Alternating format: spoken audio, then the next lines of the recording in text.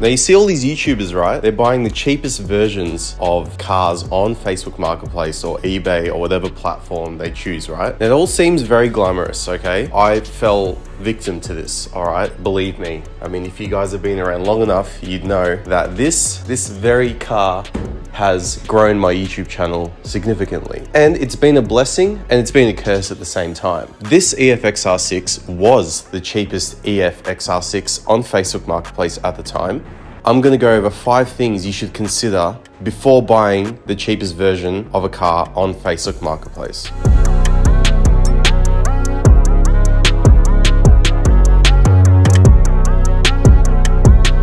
Now, the first thing you need to consider is that buying the cheapest car isn't always going to be the best solution because this, for instance, was $3,000 cash.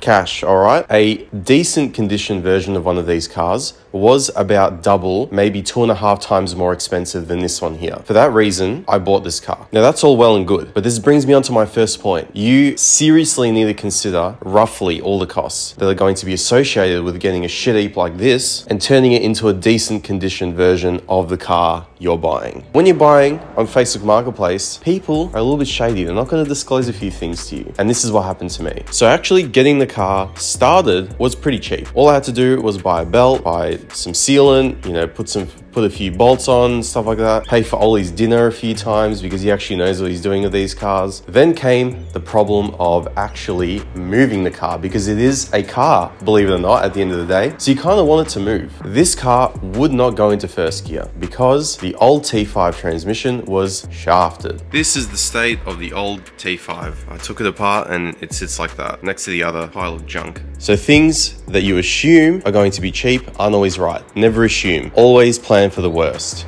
The next point I need to move on to is cleaning the car. Because oftentimes, when you're buying the cheapest version of a car, it would have sat around for a long time. The person that's selling the car obviously doesn't care about it. I mean, it's cheap. If they cared about it, they'd fix it and they'd sell it for a decent price. For instance, the guy that I bought this off could not give a about it. Hence why it was sitting in a field, hence why the motor wasn't together, hence why there were rats living in the car, and so on and so on. Because of this, everything is going to be neglected, and sometimes it's an actual biohazard like this car was. So the first thing, and I cannot recommend this enough, please clean the car. Clean it inside, clean it outside, pressure wash the engine bay, make sure it's all clean. Make sure that when you're working on it, you're not gonna turn a different color, like you're gonna turn blue or you're already going to be hating life working on the car. You want to make your life a little bit easier, so clean the car. I had my good friend Matt from Meticulous Auto Detailing come in and he detailed the whole inside of the car. The plan was to detail the outside of the car as well, but we ran out of time. That will be coming at a later date when the car actually has four wheels on it.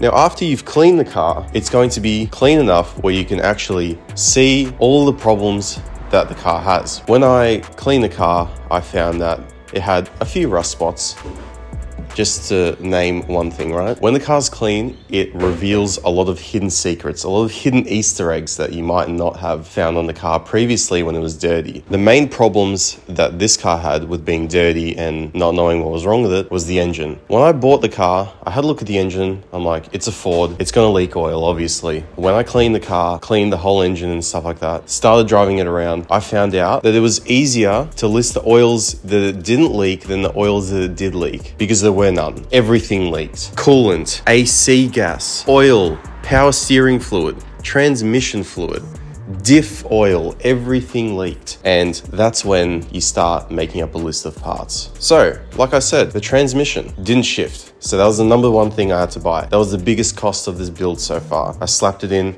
and it was selecting all gears, which was min. I started making up a list of all the parts that the engine needed. I always had in mind that I was going to boost the motor that was in it. It was a sock. It was a factory Tickford optioned sock. Pull the top end off, reseal it, put a new head gasket in it, put some head studs in it. You know, Bob's your uncle is going to be all good. When I started taking the engine apart, it revealed some things that I wasn't too happy with. Hence why everything is out of bay in this thing, including the subframe which if you haven't been following, I've been putting an AU subframe in this thing.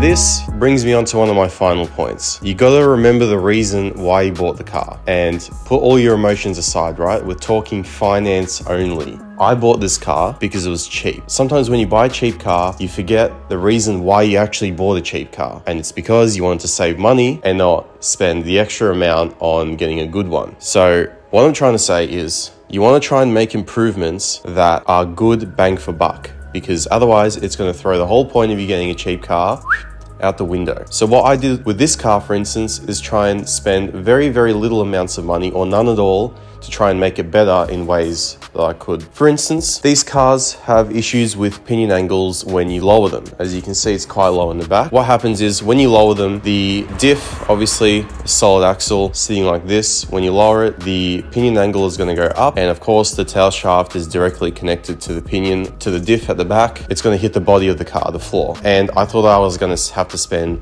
gazillions of dollars on adjustable arms and stuff like that. But luckily Ford, because they're smart, they put an adjustment in the live rear so you can adjust the pinion angle. And that costed me zero dollars and it improved the car exponentially. It drives so much better now. People say that when you're not in a clean environment, your brain's a little bit foggy, you know, you start to hate your surroundings and stuff like that. And that was the case with this thing. All I could see when I looked at the car was it was just a piece of junk. So clean the interior, you're gonna spend 100% of the time in the car when you're driving it. So remember that okay? But when you're in the car, you don't want to be touching other people's human slime and stuff like that. It's not pleasant. And especially if you had rats living in the car, like this one here, that's also another reason. It's actually not good for your health, believe it or not. I hope this video has given you guys a bit of an insight of what it's like to buy and own a cheap Facebook Marketplace car. All these tips that I've given, I found out the hard way for myself because if I knew them before, then all of this could have been avoided and I would have done things a little bit differently. But anyway,